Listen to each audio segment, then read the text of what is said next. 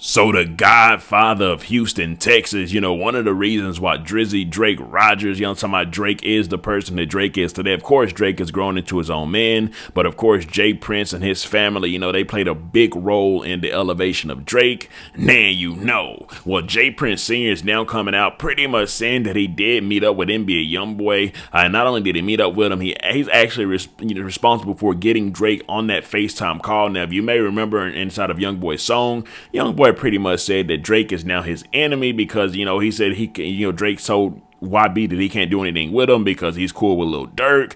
Anyways, well, it looks like J. Prince Sr. had a lot to say about that and pretty much told YB, I'm gonna need you to take my boy Drake off your enemy list. And he also said that he told him this privately to himself. And I'll read y'all exactly what J. Prince said right after the intro.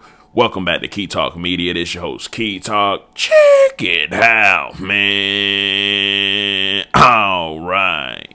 I'm gonna get shout out to Notification Gang, Key Talk Gang for rocking with me every single video. If you listen to my voice right now, go and hit the notification bell so you get a notification every single time I drop a video. Anyways, so pretty much what's going on J. Prince Sr. has posted a picture with NBA Youngboy and also Birdman, uh, which means that, you know, he did visit him inside of Utah. Now, you may know a while ago that, you know, first of all, NBA Youngboy did say something about J. Prince in one of his songs, like, I try to get your daddy hit, go ask J. Prince, or something like that to that magnitude. But, of course, you know, I'm talking about J. Prince Sr. had to pull out the receipts just to let motherfuckers know that it is what it is. The earth is his turf. Well, I'm going to read y'all exactly what Prince Sr. said, uh, you know, the message to YB and also just the public because it's on Instagram. He said, with the picture, and I'll show you the picture, it says, as you all can see, I had a good time kicking it with the homies in Utah. On behalf of the lil homie YB, me and my brother Birdman were able to have a real conversation face to face.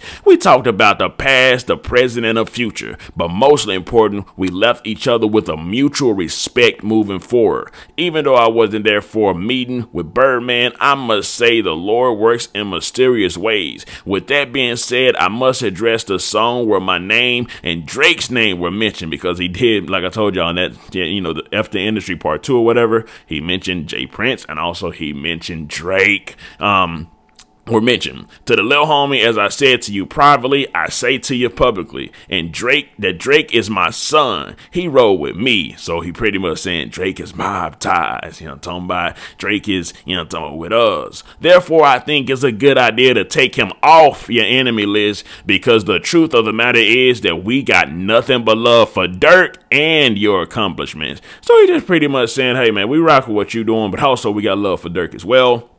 But with NBA YoungBoy, it's just a thin line was that Drake said he couldn't do nothing with him because of the fact of, you know, being cool with Durk, which is, that's like some industry stuff. Like, I don't know. That's why I don't get too deep into like, just like trying to be industry because people like to pick sides. Me, I just like, hey, man, do whatever I want to do. I am the freedom to do and say what I want to say and not have to pick no type of sides and nothing like that at all. But of course, whenever you're in the music industry, you got to do that. Anyways, when I put Drake on that FaceTime call with you, so that's him saying that he's responsible for putting them on a FaceTime call, my intent was for y'all to move forward, not backwards. Two things we get every day is a chance and a choice. The choice we make determine our destination. Anyways, Alexa, play Drake Mob Ties.